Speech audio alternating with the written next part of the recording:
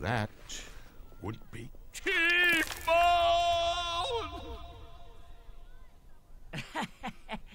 Nice work, Damone. Way to go, Tunnel Klutz. Who else could break a hole? Four in one week. the new record. Not again.